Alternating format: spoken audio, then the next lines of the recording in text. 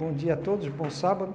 Aqueles estudos que eu envio todas as manhãs, ah, que é o estudo da escola sabatina, que é o que se, né, o que se revê lá embaixo, né?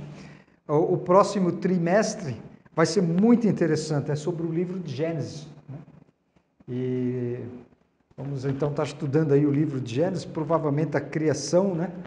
que está muito em voga, muita gente batendo na né, na, na, na, doutrina da criação é, literal de seis dias né, e o descanso do sétimo. Né? Então vai ser interessante ver o que, é que a lição vai nos falar sobre isso. Mas voltando então à volta de Jesus Cristo. Como será a volta de Jesus Cristo? Nós já vimos né, aqueles três pontos que nós tínhamos falado, né? Primeiro, do engano, de alguém que virá parecendo ser Jesus. Né? Nós vimos biblicamente que eh, vai haver um engano, né? alguém vai uh, parecer vir como Jesus. Uma das diferenças que temos, uh, temos assim mais, mais presentes, né? é que eh, vai, não vai ser essa essa vinda não vai ser uma vinda ah, como nós esperamos a de Jesus que todo olho vai ver ao mesmo tempo mas será tipo ele está aqui ele está ali está acolá né? então essa é, é, seria essa crença depois nós vamos para a volta de Jesus em si e nós temos ali três três interpretações bíblicas ou tentando incluir isso dentro da Bíblia que é Cristo já veio ele habita em nós, nós já vimos que isso não é bíblico. Né? Ah, o arrebatamento secreto, que é o que nós estávamos estudando, quando, né? falta aí dois versos, estudar mais dois, três versos, ah, para provar se realmente é bíblico o, o arrebatamento secreto. E, por fim, a segunda vinda de Jesus Cristo, visível a todo olho. Né? Essas são. Ah, tem outras crenças, depois, dentro dessas, tem, temos outras. Né?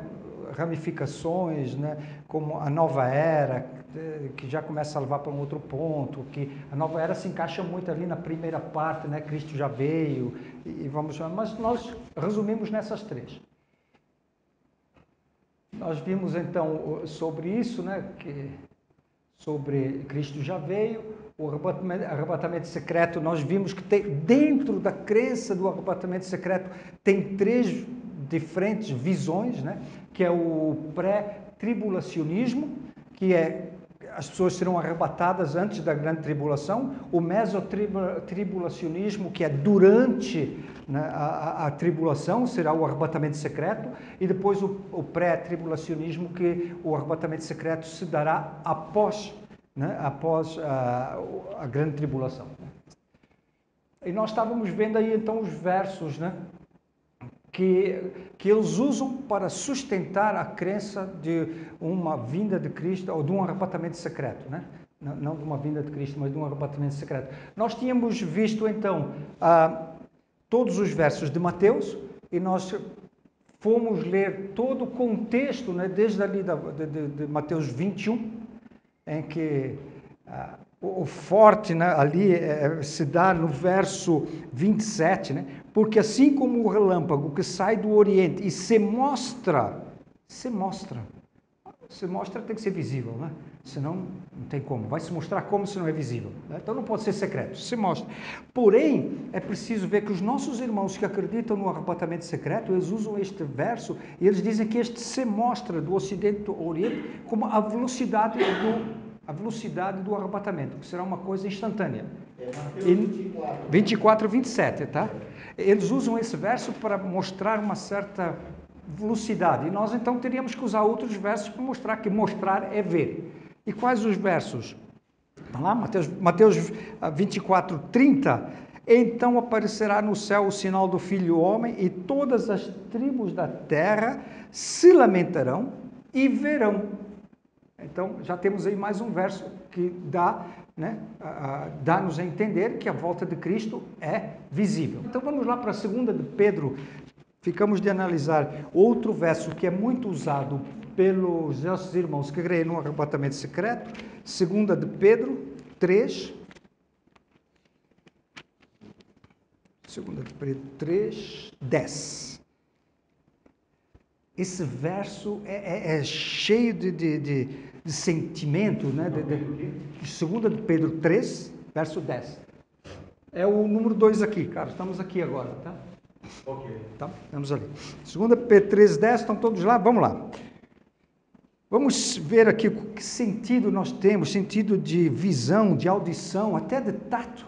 Nós conseguimos sentir nesse verso, e não sei como eles usam para provar que é arrebatamento secreto. Mas o dia do Senhor virá como ladrão de noite, no qual os céus passarão com grande estrondo. Tem que ter visão, porque senão você não vai ver os céus passar. Né? E com grande estrondo, você tem audição nisso. Né? E os elementos ardendo se desfarão, e a, terra, e a terra e as obras que nela há se queimarão. Aqui há tanto sentido, né? tanto tato, visão, quanto audição. Não pode ser secreto. Mas eles usam o quê? Virá como ladrão. Virá como ladrão. Esquecem o resto do verso. Tá? Não pode ser uma coisa secreta. Jesus Cristo virá, sim, como Deus Criador, como Deus eterno, para buscar os salvos. Né? E por último, eles usam também 1 Tessalonicenses 4, 7. Um pouquinho mais para trás, 1 Tessalonicenses 4, 7.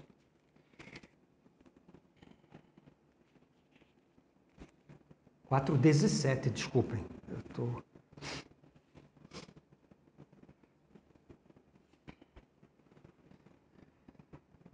E aqui tem a palavra chave para a crença deles, que eles acham ser a palavra-chave.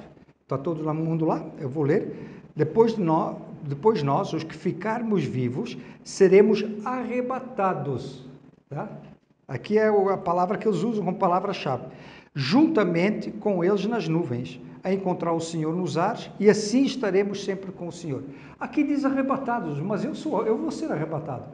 Todos nós seremos arrebatados. Aqui não diz, o, não descreve esse arrebatamento como algo secreto. E aí, quando nós lemos todo o contexto desse, desse, desta passagem, o que que Paulo estava falar? Paulo estava ele falando do arrebatamento ou estava ele falando de um outro assunto? Então, para nós termos o contexto, vamos ler a partir do verso 13.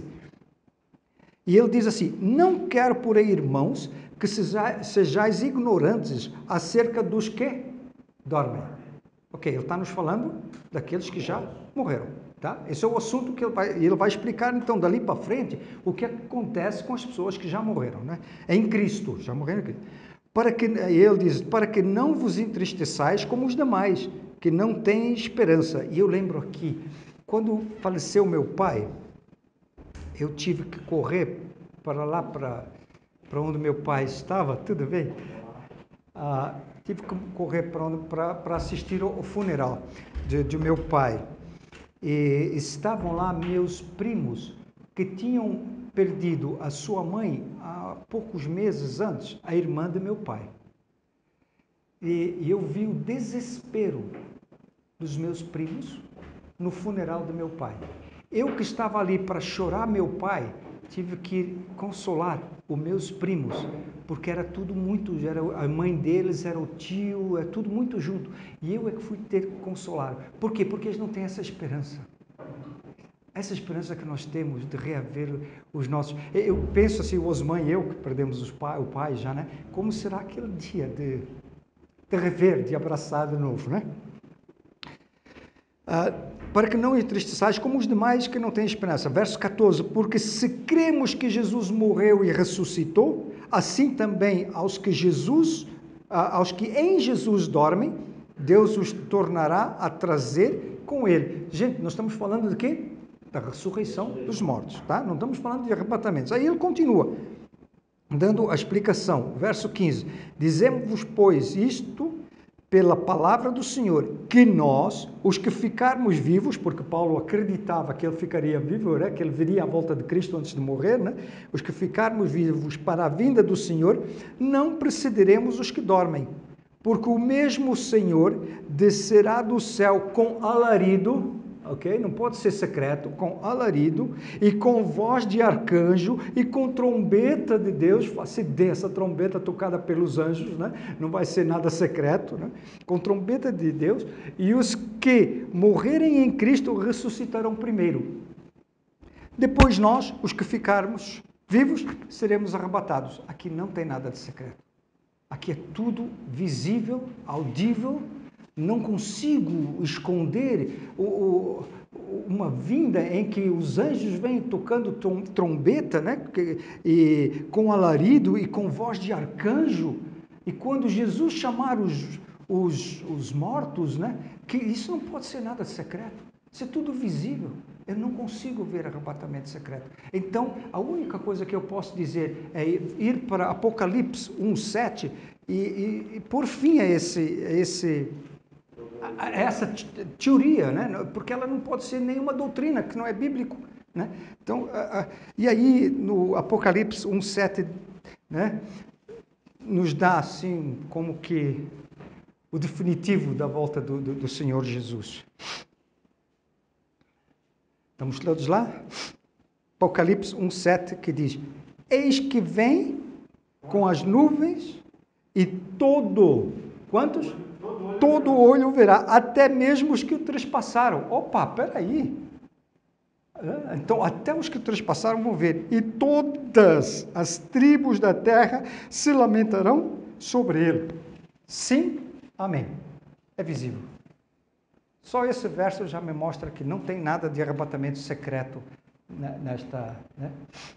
Resumindo, quem vai ver Jesus voltar? Os salvos que estarão vivos na segunda vinda, tá? eles vão ver Jesus voltar. Os ímpios que estarão vivos na segunda vinda, também, eles vão estar ali, vão ver a Jesus voltar. Os que crucificaram Jesus, porque esse verso é bem explícito aqui, os que o trespassaram, e tem outro, Helena White nos, nos, nos, nos, elucida um pouquinho mais, né? E ela diz: os que morreram de 1844 para cá, crendo na volta de Jesus e na mensagem dos três anjos. Isso é interessante. Por que eles teriam que ver Jesus voltar? Porque eles creram que Jesus vai voltar. E eu imagino, Osma, quando eu caí na realidade desse estudo, já faz alguns anos, eu estava no carro vindo do trabalho e quando eu estava ouvindo um estudo sobre isso, eu, os, os pelos se arrepiaram todos e as lágrimas, lágrimas começaram a correr, porque eu pensei, eu vou ver meu pai um pouquinho antes de Jesus voltar.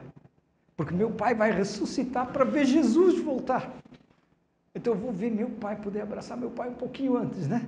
E eu fiquei assim, bom, vamos lá, vamos dar continuidade para ver de onde vem toda essa, eh, todas essas afirmações. Então, completamos que Jesus não veio, Jesus não, não, não habita em nós, né?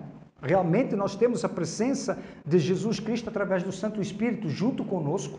Jesus hoje está sentado à destra do Pai e ele disse: Se eu não for, o Espírito não virá. Então, nós temos a companhia do Santo Espírito, da presença de Cristo através do Santo Espírito conosco hoje, mas Jesus vai vir sim, não, né?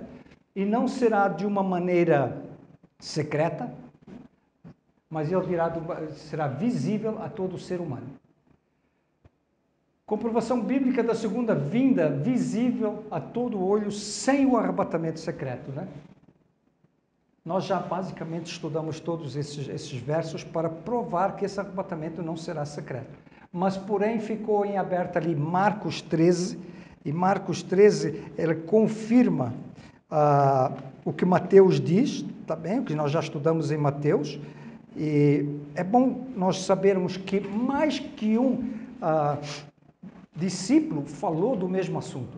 Quer dizer que não foi um só, quer dizer que muitos ouviram, que muitos estudaram, teve mais testemunhas do, desse facto. Né? Então, Mateus 13, 24 a 20, Marcos 13, obrigado, 13, eu estava lá,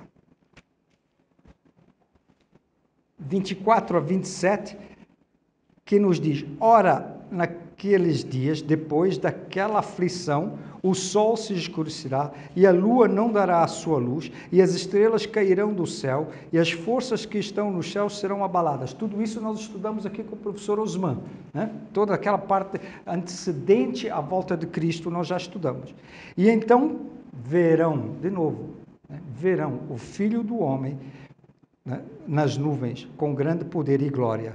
Ele enviará os seus anjos e ajuntará os escolhidos, conforme nós já estudamos. Depois, Lucas também tem esse, essa afirmação, em Lucas 21, 25 a 27. Lucas também afirma a mesma coisa, que será uma vinda visível, né? Visível. Lucas 21, 25 a 27 e haverá sinais no sol, na lua, nas estrelas, e na terra angústia das nações em perplexidade, bramando o mar e as suas ondas. Cara, vai ser, vai ser, vai ser uma coisa terrível. Homens desmaiando de terror, na expectação das coisas que sobrevirão ao mundo, porquanto os poderes do céu serão abalados. E então verão vir o Filho do Homem numa nuvem com poder e grande glória. Não tem jeito. E quando o Filho do Homem vier em sua glória, não pode ser secretamente, né? E todos os anjos. E, e né? E secreto. todos os anjos com ele. Se é secreto, para que que viria todos os anjos com ele, né? Então se assentará no trono da sua glória. Terminando ali, eh, não, não tínhamos lido Atos, Atos 1. Acho que esse verso aqui também é um definitivo, né? Para nós, Atos 1, 9 ao 11, diz: E quando dizia isto, vendo eles, foi elevado às alturas, e uma nuvem o recebeu, ocultando seus olhos. Nós estamos falando aqui da ascensão de Jesus, após 40 dias após né, da ressurreição, ele sobe aos céus. Né? Então, essa foi a parte. E nós falamos quem são, as, quem são os que estão envolvidos nessa parte de visão, né, de ver Jesus voltar. Nós temos ali, biblicamente, nós vimos os salvos que estarão vindo na segunda vinda, os ímpios que estarão vivos na segunda vinda, porque a palavra do Senhor diz que eles até querão se esconder nas cavernas, né? E pedem as rochas que caem sobre eles, nós veremos isso depois. Os que crucificaram Jesus, porque nós vimos isso no texto de. Uh, uh, foi os que trespassaram Jesus, uh, Atos, né? Ah, não, ah, Apocalipse 1,7 foi o texto que nós vimos, até os que trespassaram Jesus. Tá? Tá, é, trespassaram. E os que morreram, essa parte depois nós vamos estudar, os que morreram em, ah, de 1844, crendo na mensagem da volta de Jesus e ah, na mensagem dos três anjos. Né? Então nós terminamos né, vendo que as duas primeiras crenças que existem hoje de que Jesus já veio, ele habita em nós, não é uma crença bíblica e nós vimos que a, o arrebatamento secreto, essa parte secreta da volta de Cristo também não é bíblico, né? Uh, então nós vamos começar a estudar então a vinda de Jesus uh, para que todo homem possa ver, né? Esses foram os versos que nós usamos, né, para provar que a vinda de Jesus ela não é secreta, porque em todos esses versos nós temos os sentidos do ser humano envolvidos, que é a visão, que é o tato, que é a audição. Né? Todos esses versos aqui nos dão a entender que ela é algo visível e audível ao ser humano. Então nos resta fazer duas perguntas: quando e como? É? Quando e como Jesus virá? O grande conflito tem uma passagem que é, para mim, marcante, né? Conquanto ninguém saiba o dia e a hora da sua vinda, então nós não vamos saber, Jesus vem amanhã, tá? não, não tem isso, né? Conquanto ninguém saiba, somos instruídos quanto à sua proximidade. Puxa, a Bíblia fala disso, né? As parábolas, né? Quando vocês verem, virem os figos, né? Nas figueiras, né? Então, quando as folhas estiverem brotando, vocês sabeis que está perto a primavera, assim será a volta de Cristo, né? E isto nos é o que exigido saber. Então, precisamos estudar realmente sobre a volta de Cristo. Saber o dia e a hora você não vai saber, porque isso é a obra-prima é, é sabedoria de Deus, só Deus tem esse conhecimento. Nós vamos ver esse verso. Mas é-nos exigido saber da proximidade da volta de Cristo. Demais, é nos ensinado que desatender à advertência ou recusar saber a proximidade do advento do Salvador ser-nos a tão fatal como foi aos que viveram quando? No tempo do, do, do dilúvio. Não é? Passou quantos anos pregando? 120. 120 anos pregando, martelando ali e pregando, martelando e pregando, serrando e pregando. Quantas pessoas trabalharam naquela obra? Quantos homens estavam envolvidos na construção daquela arca? E quantos entraram? Oito. Oito entraram. Tanta pregação em vão. E isso será o nosso erro se não quisermos estudar sobre a brevidade, brevidade da volta de Cristo. Né? Mateus diz: Mas naquele dia e hora ninguém sabe, nem os anjos do céu, mas unicamente meu Pai. Eu gosto muito desta tradução, é a tradução que eu uso, né? porque tem muitas traduções que dizem nem o filho, a, a, nem o filho não está incluso na, na, na tradução original, tá? Então só é, só está o Pai, né? Nem os anjos e unicamente meu Pai. E Tiago White, quando ele explica esse verso, ele diz que só Deus terá o, a prerrogativa de anunciar o dia e a hora. Nem Jesus terá essa prerrogativa. Essa é a prerrogativa de Deus. Aqui diz, mas unicamente meu Pai. Não é que Jesus não saiba da volta de Cristo. Jesus está lá, Jesus está lá desde o planejamento da salvação do ser humano. É Jesus que se voluntarizou, é a palavra portuguesa, voluntarizou, é isso? É, se, é? Minha corretora de português. Né? É, é ele que se. Ele, ele se voluntariou, obrigado. Ele se voluntariou para quê? Para morrer por você, por mim. Ele disse: Pai, deixa isso comigo, pai. Não, meu filho, você não pode. Pai, Fui eu que os criei. Fui eu que os fiz com a minha mão. Eu moldei aquele boneco de barro. Eu soprei o fogo da vida. Eu vou, Pai. Eu vou morrer. Eu vou resgatar meu povo. Então ele sabe o dia e a hora. Mas a prerrogativa de anunciar o dia e a hora é de quem? Só do Pai. Ok? Então temos esse verso aí, confirmando, né? As sete pragas e a ressurreição especial. Eh, nós tivemos. A a Bíblia nos fala de um grande terremoto, nós temos isso em Apocalipse né? 16, 19 a 20, o nosso professor falou disso, né? E a grande cidade fendeu-se em três partes e as cidades das nações caíram. E a grande Babilônia se lembrou, de, e da grande Babilônia se lembrou Deus para lhe dar o cálice do vinho da indignação da sua ira. E toda a ilha fugiu e os montes não se acharam. Esse vento vai ser grandioso. Esse vento vai ser ninguém no mundo que estiver vivo naquela altura né, vai poder dizer não vi, não vi. E diz mais Isaías 54, uh, 10, apesar de tudo isso, olha o que diz, porque as montanhas se desviarão e os outeiros tremerão, mas a minha benignidade não se desviará de ti. Você precisa estar preocupado?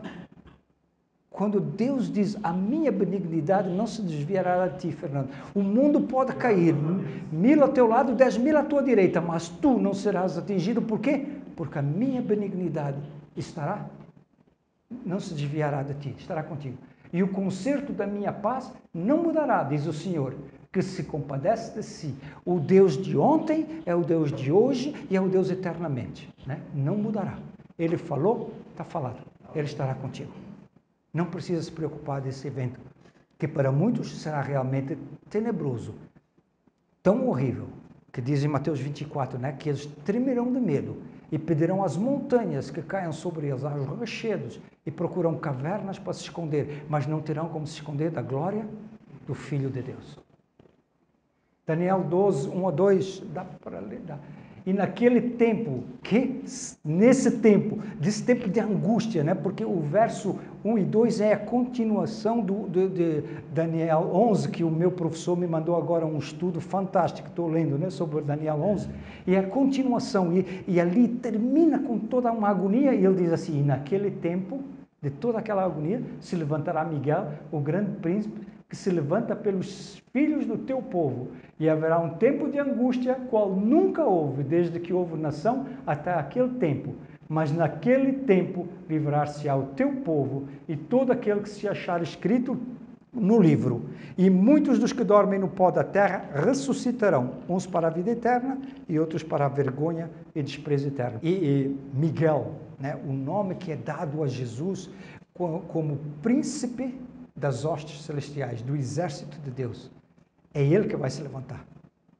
Quando, quando, a, quando a palavra de Deus se refere a Jesus como o chefe das hostes celestiais, o denomina como Miguel.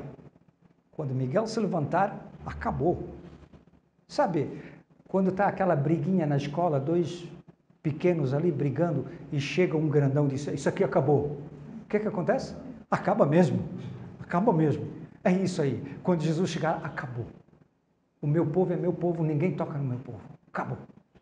A, a, essa expressão Miguel, né, que é atribuída a Jesus, ela aparece três vezes na Bíblia e sempre num contexto, Texto. num contexto de batalha. De, de batalha, sim. Né? Yeah. Chefe de Miguel e seus anjos contra, os, contra o dragão e seus anjos. Yeah. Sempre num contexto de, de, de guerra, de né? Confronto, confronto com, yeah. com o inimigo. Sim. Confronto direto. Yeah. Yeah. direto. É interessante que também. Sempre saindo vencedor. Também ele teve que vir quando o anjo Gabriel. Eu, eu sabe, às vezes eu não é difícil eu entender a bondade, a misericórdia de Deus. É, é, sabe, é extremamente difícil. Deus, Jesus expulsa Satanás do céu. Ok? Mas não lhe tira nenhum dos poderes. Você, você consegue ver isso? Gabriel fica ali para tomar mais ou menos conta do lugar que era de Lúcifer no céu. E quando Gabriel é enviado por Deus para revelar a Daniel sobre a interpretação da, da, da profecia, Daniel não consegue, não consegue passar. Gabriel consegue. Lúcifer sustém Gabriel. E tem que vir quem? Miguel. E Miguel diz: Ó, oh, acabou a briga. Acabou a briga. Gabriel, Gabriel, passa aqui e vai falar com Daniel. Como? Miguel, né? Que é, vai falar com Daniel. Acabou a briga. Aqui não tem briga. Né? Esse é, eu acho que, porque se, se tivesse sido eu, Deus, você sai daqui e acabou, você não é mais nada. Né? Você não tem mais nada. Mas Deus diz: não, você vai, vai embora, leva o que é seu. E todos os que morreram na fé da mensagem do terceiro anjo, aquela última verso que eu pus lá, né? Está é, tá no grande conflito. É, na, ter, na mensagem do terceiro, saem dos do túmulo glorificados, não mais com este corpo que nós temos hoje, mas com aquele corpo incorruptível, tá? Ah, com imortalmente. Ah, imortalidade. Não, mas é, é condicional. Uma imortalidade condicional. A condição é de que nós temos que comer de quê? Da árvore da vida para ter vida eterna. Tá? Mas eh, nós somos imortais, não eternos. Eterno é Deus, que não tem princípio. Eterno é Jesus, que não tem princípio. Eles são eternos, não tem nem princípio nem fim. Nós nunca seremos eternos, porque nós tivemos um princípio, mas teremos uma imortalidade condicional. Comendo da árvore da vida, você vive eternamente. E ela está ali. Li... Como? Como era desde o início. Como era desde o início. Sim, Adão e Eva né, comiam da árvore da vida. Por isso o, o, anjo teve que segurar a espada e ficar ali nos portões do jardim do Éden, para que eles, pecando, não voltassem a comer. Né? Uh, glorificados para ouvirem o concerto de paz estabelecido por Deus e com os que guardam a sua lei. Os mesmos que os trespassaram, está lá, né? Apocalipse 1,7. Os que zombaram escarneceram da glória de Cristo, e os que mais acérrimos inimigos de sua verdade e povo ressuscitam para contemplá-lo em sua glória e ver a honra conferida aos fiéis e aos obedientes. A honra conferida a você e a mim. Tem aqui também outra, outras passagens de um livro que é o meu livro de cabeceira. Eu gosto demais desse livro. Eu já o li umas cinco, seis vezes e estou acabando de ler agora, Preparação para a Crise Final, e vou voltar a ler. Essa é tirada de primeiros escritos. Como eu gosto desse livro. Nuvens negras e densas subiam e chocavam-se entre si. Lembra do que nós lemos lá em Mateus, né? Daquela convulsão toda, né? Dos elementos, né? A, atmosfera abriu-se e recuou. Podemos então olhar através do espaço aberto em Orion. Lembra, cara, você falou da volta de Cristo por Orion, né? De Orion, de onde vinha a voz de Deus. Ela expandindo aquilo que nós lemos na Bíblia, né?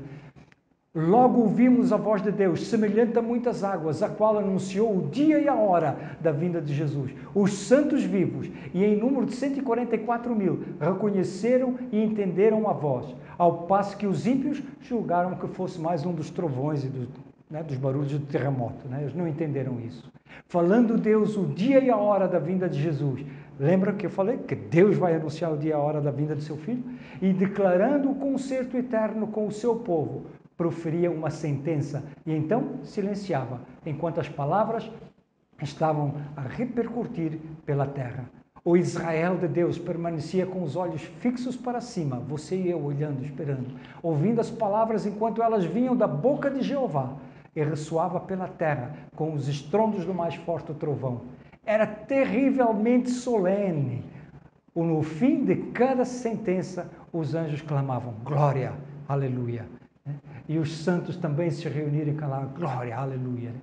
O rosto deles iluminava-se com a glória de Deus e resplandeciam de glória, como fazia o de Moisés quando desceu do Sinai, que até o povo teve que dizer: cobra a tua cara com véu, que nós não conseguimos te ver. Isso é o que dá quando você está na presença de Deus. A glória de Deus se transmite por você. Eu gosto mais desses textos aqui de primeiros, primeiros escritos. E o terror dos ímpios? Apocalipse 1,7 E eis que vem com as nuvens, em todo o olho verá, até mesmo os que trespassaram, e todas as tribos da terra se lamentarão sobre ele. Se lamentarão é porque eles não estão felizes, né? Senão você não vai estar se lamentarão, vai estar pulando de alegria e celebrando. E Atos 6, 15 a 17. E os reis da.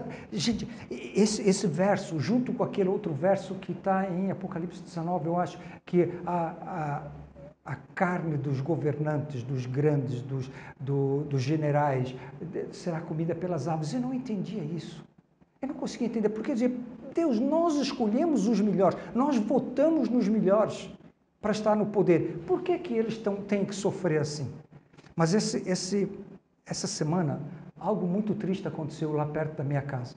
Eu estava trabalhando lá no primeiro andar e vi bater palma lá no portão. E chateado, porque eu estava com muita coisa para terminar, eu, eu, fui na varanda lá em cima e vi, era um senhor, estava no portão.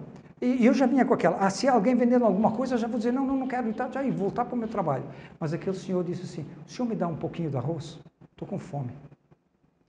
Foi um balde de água fria para mim.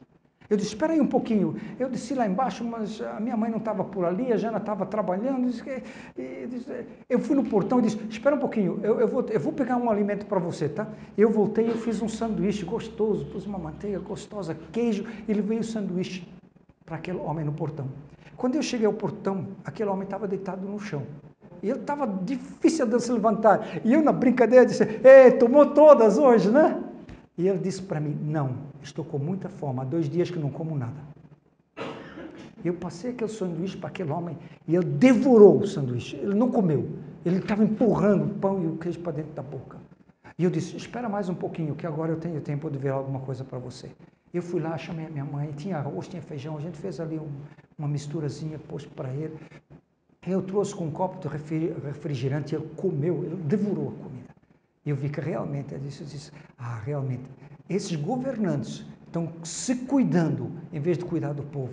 Então eu consigo entender esse verso. E os reis da terra, e os grandes, e os ricos, e os tribunos, e os poderosos, e todo servo, e todo livre se esconderá nas cavernas e nas rochas das montanhas e dizem aos montes e aos rochedos: caí sobre nós e escondemos do rosto daquele que está assentado sobre o trono e da ira do cordeiro, que é o filho dele, né? Porque é vinda a, o grande dia da sua ira e quem poderá subsistir? Mas não é que eles não sejam avisados, porque o mesmo Deus continua trabalhando no coração de todos, porque o que é que Deus diz? Que Ele quer que todos venham a, a salvar. Jesus desce em poder e glória e também, ainda pegando daquele livro, surge logo no Oriente uma pequena nuvem negra, aproximadamente da metade da mão uh, de um homem. Eu pensei em você tanto essa semana quando eu montava isto. E a nuvem que rodeia o Salvador é a nuvem que rodeia o Salvador e que, à distância, parece estar envolta em trevas. E o povo de Deus sabe ser esse o sinal do Filho do Homem. Até que se tornar grande numa nuvem branca, mostrando na base sua glória semelhante ao fogo consumidor e encimada pelo arco-íris do concerto. Jesus, na nuvem, avança como poderoso vencedor, dizem Apocalipse, e seguiram-nos os exércitos do céu, completamente visível, né? Os exércitos, diz que o céu vai ficar vazio, não vai ficar ninguém no céu. Não sei como é o céu, se é um planeta onde Deus habita, não, não tenho ideia. Né? Mas vai ficar vazio. E vai todo mundo virar. Né? E a sua glória cobriu os céus e a terra, encheu-se do seu louvor. E o seu resplendor era como a luz, diz Abacuque. Oh, Fernando, eu tentei fazer, mas puxa, se o Fernando tivesse aqui, ele tinha feito uma coisa legal, a nuvem negra, o arco-íris em cima, por baixo que nem o fogo, né? Não deu, ficou muito feio, mas tudo bem. Não sou artista dele. Olha aqui o que Apocalipse diz, e no, uh, e no vestido da sua coxa tem escrito este nome, Rei dos Reis, Senhor dos Senhores. Esse é o Jesus Cristo que eu estou aguardando. E os anjos entoam uma melodia mais forte e de novo cantam ao aproximar-se ainda mais da terra. E o Rei dos Reis desce sobre a nuvem, envolto em fogo e chamejante. E os céus enrolam-se como um pergaminho, e a terra treme diante dele, e todas as montanhas e ilhas se movem ao seu lugar. Virá o nosso Deus e não se calará. De, de adiante dele um fogo irá consumindo e haverá grande tormenta ao redor dele. Chamará os céus do alto e a terra para julgar o seu povo. Salmo 53, 3 e 4. Eu vejo assim. Como eu gosto dessa imagem. Acho ela tão linda. Pode falar. Uma coisa, Fernando, falando aí, eu estava tentando achar texto Sim. isso. Uh, a respeito dos, uh, dos acontecimentos da volta de Sim. Lucas 21 é, descreve muito, muito bem. Mas quando disse ali a respeito do céu que vai se enrolar como um pergaminho. E a Bíblia fala que os elementos em brasa se disparam.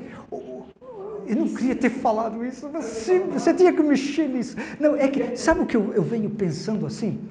Ah, quando, quando, quando, antes de Adão e Eva pecar, Adão e Eva tinham direto acesso a, a toda a, a, hoste celestial. Eles falavam cara a cara com os anjos, eles falavam cara a cara com Deus, com Jesus. E eu imaginava assim: será que o, o lugar onde Deus está é tão perto que não tinha nem. que, que eles viam? Dali onde eles estavam, eles viam o trono de Deus.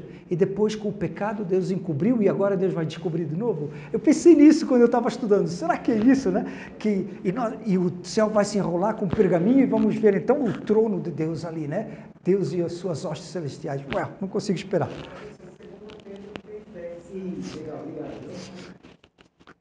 Vamos lá. Temos que ainda andar e estamos quase chegando no tempo do para terminar. Segunda vinda de Jesus. Nós vamos falar agora sobre a reação dos que trespassaram. Nós estamos, vimos falando de cada grupo de pessoas, de o que acontece com cada um. Né? Nós vimos o que acontece com os salvos, nós vimos o que acontece com os que estão perdidos, pedindo que, se, né, que as rochas. E agora, e a reação dos, daqueles que trespassaram Jesus? Essa deve ser a pior de todas. Né? Quem está envolvido nessa situação? Obviamente que Pilatos, que julgou Jesus, lavou as mãos. Lava as mãos dele. Cara, tem qualquer coisa pior? O justo de Deus. Ele sabia, a, mulher, a esposa né, dele veio adverti-lo: não toca nesse justo. Ela sonhou. Né? Ela sonhou, não toca nesse justo. É bíblico, está lá. Herodes, mais outro, covarde. Né? Mais outro covarde. O sinédrio, não todo, mas parte do sinédrio, que foi pedir a Pilatos e a Herodes que matassem Jesus. Sinédrio, né, como eu disse, nem todos no sinédrio, mas aqueles que foram pleitear pela morte de Cristo. O povo que gritou, caia sobre nós e nossos filhos. Caramba, não, que pedisse para eles, mas também sobre para os filhos, o sangue desse justo, é isso mesmo. Né? Os soldados que, que espancaram com Jesus, que puseram aquela coroa de espinhos, gente, ah, que pena, Jana, não trouxe. Eu, eu tenho uma, uma haste, que é uma ponta de uma haste, das espinheiras de África, que eu queria que vocês vissem. Eu trouxe isso para mostrar aqui para os jovens, quando eu fui uma vez lá à minha terra, que são espinhos dessa, desse tamanho. Tá? Os espinhos super, super aguçados, parece mais apontado que uma agulha aquilo. E aquilo entra na carne e deixa uma dor horrível, horrível. Né? Eu lembro porque eu caí sobre uma espinheira dessas uma vez andando de moto. Então eu lembro muito bem, né? E ninguém me tirava, só riam de mim, não tirava. Ah, eu vou tentar, vou, eu vou, vou, procurar lá, eu vou procurar lá, se tiver lá eu vou trazer para vocês verem. E são hastes que ficam compridas com mais de um metro. Tá? Então dá muito bem para você enrolar e fazer a tal coroa que puseram sobre a cara do meu mestre, sob a fonte do meu mestre.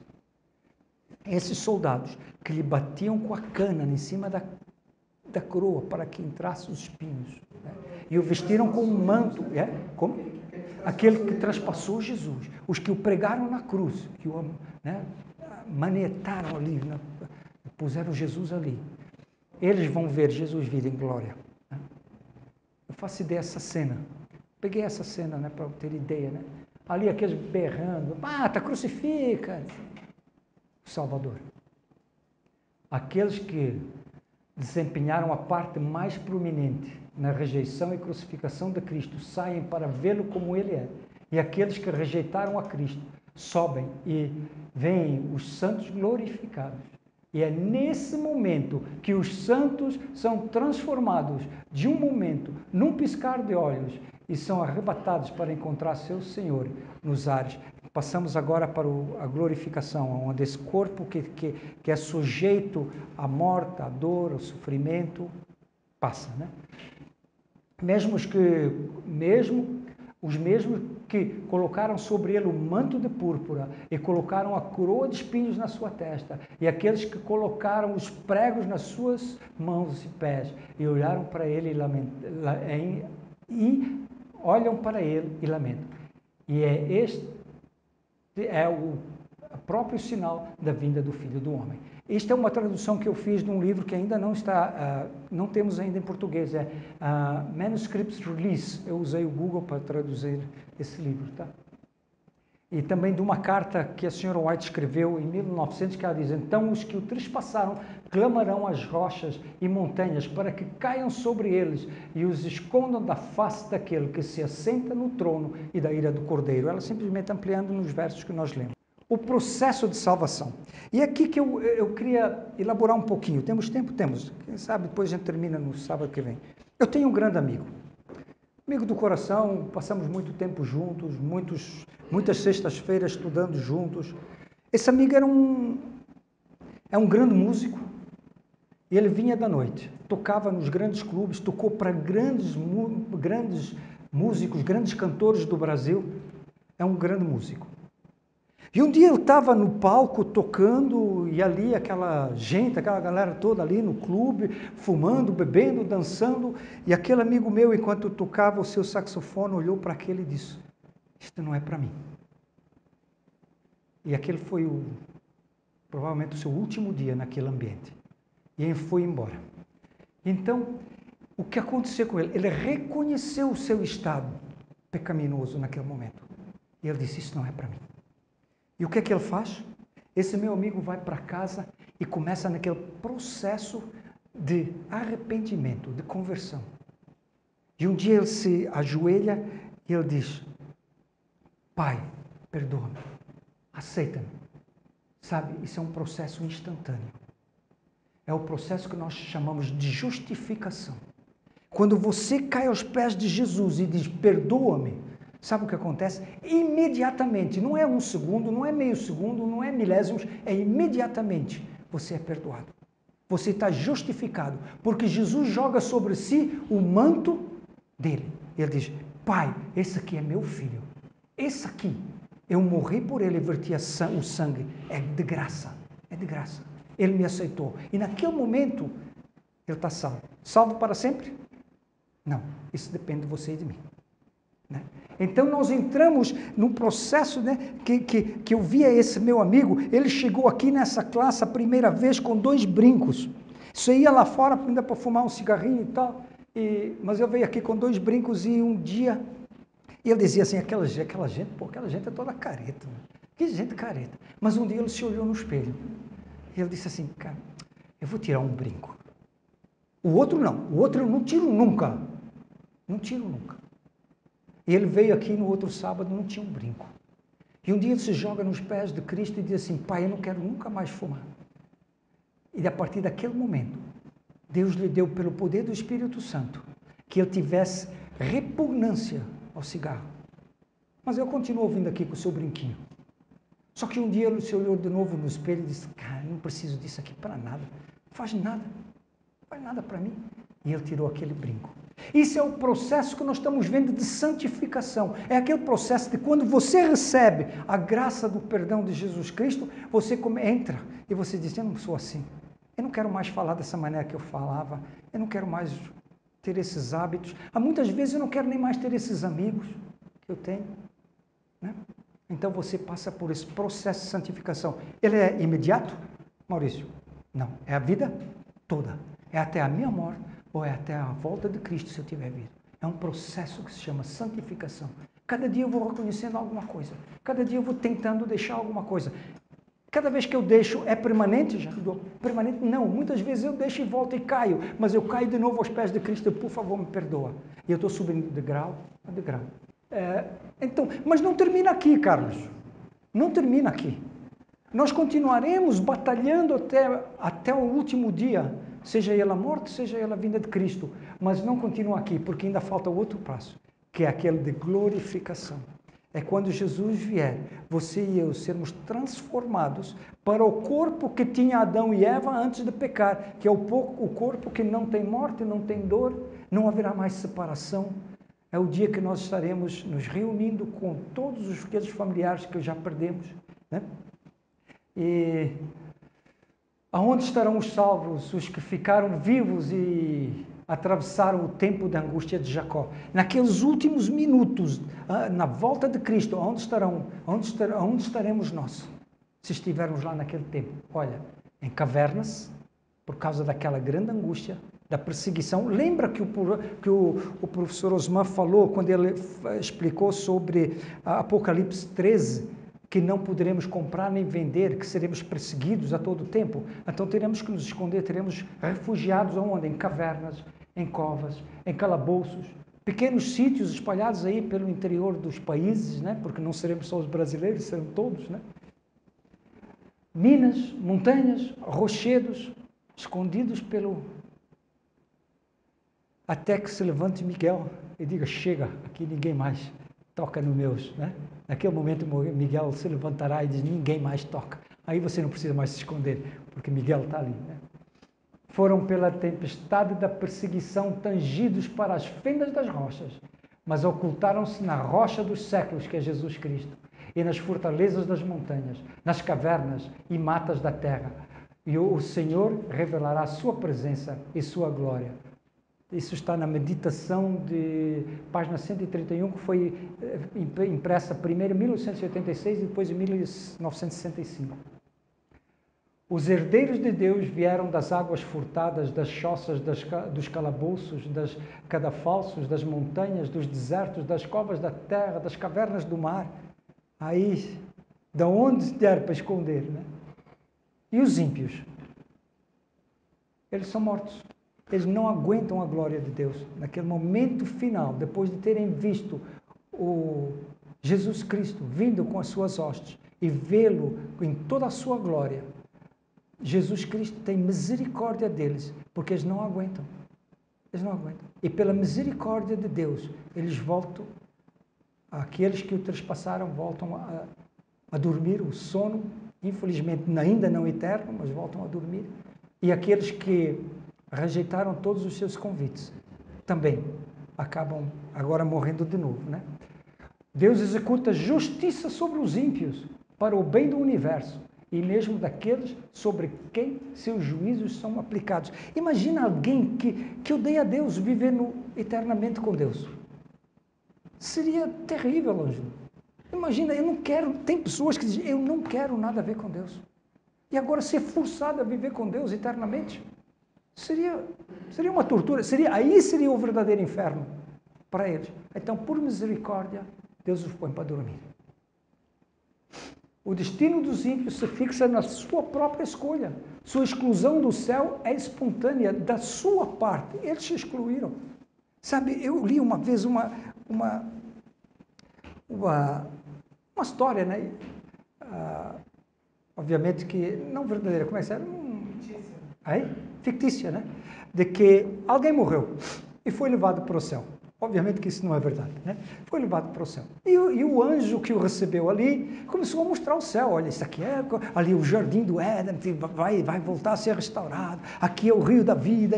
E ele levou, depois tinha uma, um, um corredor, assim, ele entra numa, num, nesse corredor e tem uma porta linda, maravilhosa. E o anjo abre a porta.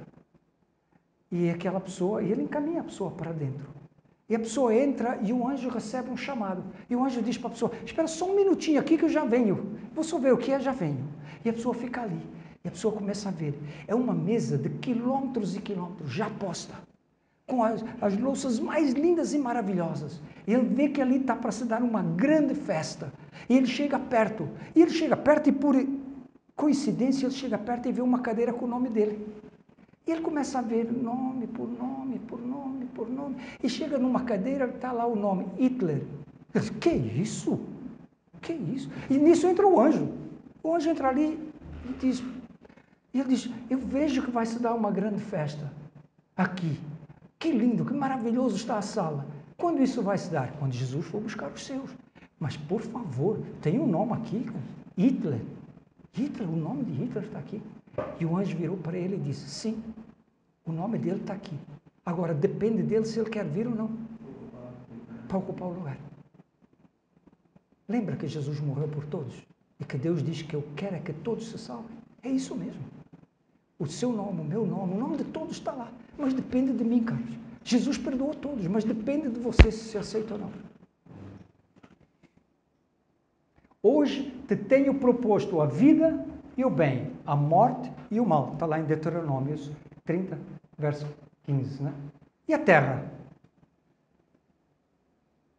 Agora tudo acalma, porque os santos vão embora. Aqui tudo morreu. Quem ficou aqui, morreu. Com exceção de alguns, né? Vamos ver quem são. E os demais foram mortos com a espada que sai da boca do que estava assentado sobre o cavalo, e todas as aves se fartaram das suas carnes. Desculpa. Mas os outros mortos não reviveram até que mil anos se acabaram. Esta é a primeira ressurreição. Bem-aventurado e santo aquele que tem parte na primeira ressurreição. Sobre estes não tem poder a segunda morte, mas serão sacerdotes de Deus e de Cristo e reinarão com ele mil anos. Opa, temos agora um outro período. Ok? Parece que esses seis mil anos aí de pecado se terminam, mas há um período de mil anos, que a Bíblia diz em Apocalipse 20, 5 a 9. Onde estarão os salvos? Nos céus, reinando com Cristo. Aonde estarão os ímpios? Mortos na terra. Então, que período é esse, né? Nessa viagem que nós estamos indo para o céu, eu acho que eu inverti até o slide, devia ter posto. É interessante né, o que diz Tessalonicenses. Porque o mesmo Senhor descerá do céu com alarido e com voz de arcanjo e com a trombeta de Deus. E os que morreram em Cristo ressuscitarão primeiro. Depois nós, os que ficarmos vivos, seremos arrebatados juntamente com eles nas nuvens, a encontrar o Senhor nos ares, e assim estaremos sempre com o Senhor. Porquanto consolai-vos uns aos outros com esta palavra. Já tínhamos lido esse verso né, no início. Os anjos ajuntarão os seus escolhidos desde os quatro ventos, desde toda a parte da terra, né? Está entendido, né? De uma outra extremidade dos céus. Criancinhas são levadas para os santos anjos nos braços de suas mães. Amigos, há muitos separados pela morte, reúnem-se para nunca mais se separarem. E com os cânticos de alegria ascendem juntamente para a cidade de Deus. Está lá uma descrição mais, mais expandida né, de Ellen White no livro Grande Conflito. Né? Quão bom vai ser, né, Osman, podemos ver familiares que já se foram, morrendo, crendo em Cristo. Lembra de Elias? É, Elias, né? quando eu fui levado para o céu?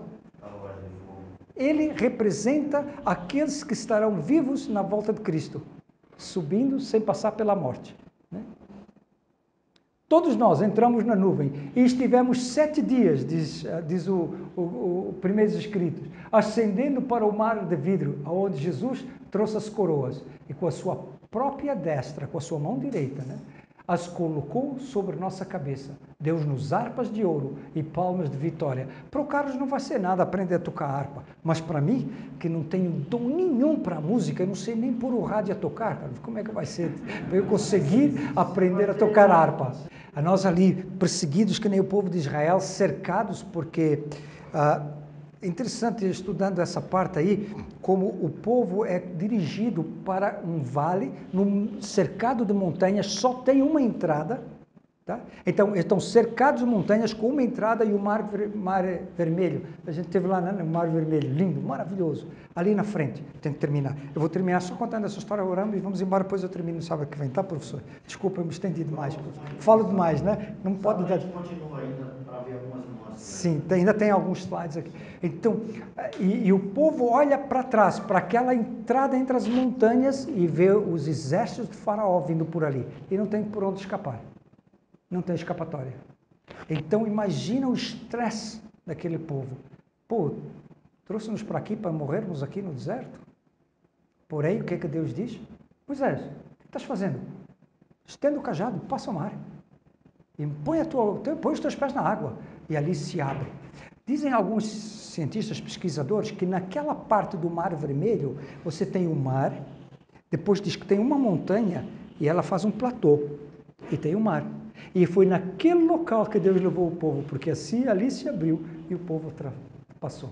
E naquele momento o exército faraó disse o quê? Vamos! E faraó junto com os seus servos perseguem o, o, o povo de Deus.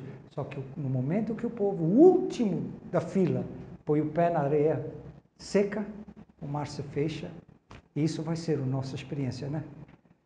Quando o, os ímpios disseram vamos, que é instituída a pena de morte, Jesus, Miguel se levanta e diz: atravessa. Estarão seguros do outro lado. Esse será o teu fim e o meu fim, se nós aceitarmos esse perdão de, de, de, de Cristo, Carlos será o seu fim. Vamos terminar aqui, vamos orar, levantar para orar.